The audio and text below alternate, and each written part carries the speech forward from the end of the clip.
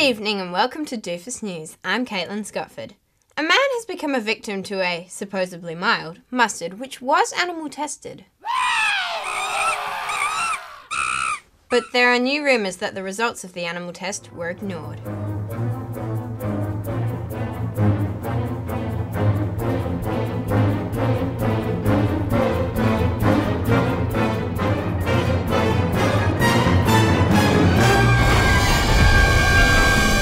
Crisis has begun, and new laws are being made to prevent young drivers from driving while tired.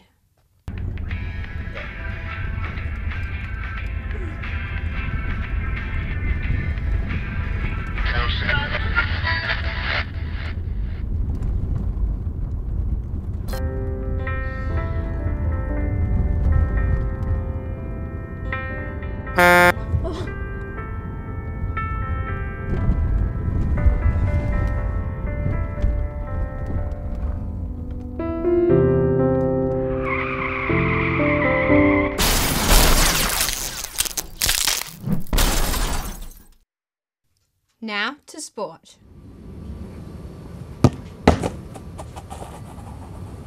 That's all from sport.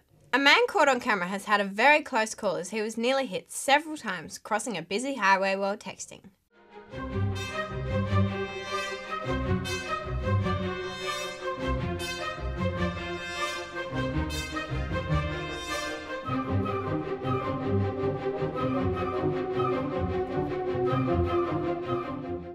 Police have not yet found the man, but have asked that anybody with information call Doofus Stoppers. That's all for tonight. Thank you for joining us on Doofus News.